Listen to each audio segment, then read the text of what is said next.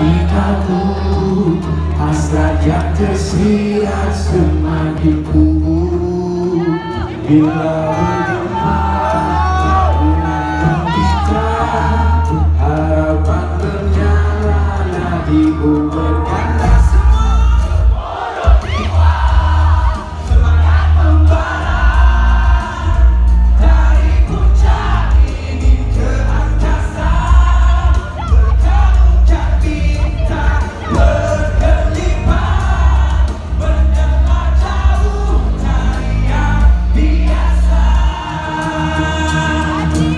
why?